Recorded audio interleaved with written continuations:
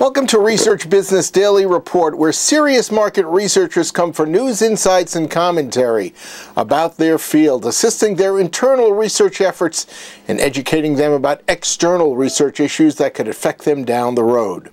Today on RBDR, the founder of Everipedia has defined the nine best industries he says are ripe for innovation, and it includes market research. Then an update on monies owed by Donald Trump to his pollster. RBDR is sponsored today and this week by Nuance, a decision analyst company offering multi-language verbatim coding services that quantify the meaning of open-ended answers. Nuance invites you to read tips for choosing a coding partner, which we'll tell you about later in today's video. George P. Beall is the founder of Everipedia, a knowledge aggregator and knowledge base. He blogged for the Huffington Post about a subject he says he's often asked about, the industries that are exploding and offering the best routes for new innovation. Number five on his list, behind alcohol, education, marijuana, and virtual reality, is marketing and market research together. Beall quoted marketing expert Deep Patel, who said the entire market research and marketing uh, research areas are perfectly primed for a revamp. Calling survey research some of the worst market research out there due to expense, inaccuracy, and subjectivity of processing, Beall said this is an area that gets great innovation interest. As I started to read this blog, I truly expected to see assessments of openness by business categories to innovation. Instead, Beall's perspectives are more oriented to market opportunity. That isn't a negative, but it's just a different way of looking at things.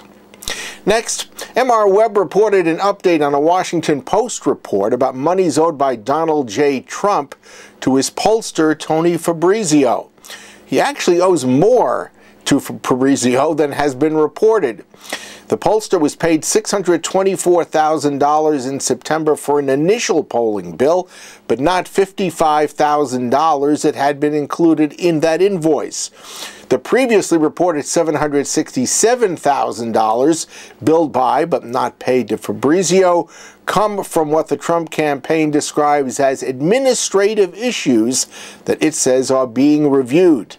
The Huffington Post reported that Trump promoted Kellyanne Conway to campaign manager partially because he did not like when Fabrizio presented bad poll numbers and told the nominee he needed to make adjustments. New York Magazine's Gabriel Sherman has reported recently that Trump's son-in-law, Jared Kushner, had dismissed Fabrizio's plans to conduct focus groups at the GOP convention back in July.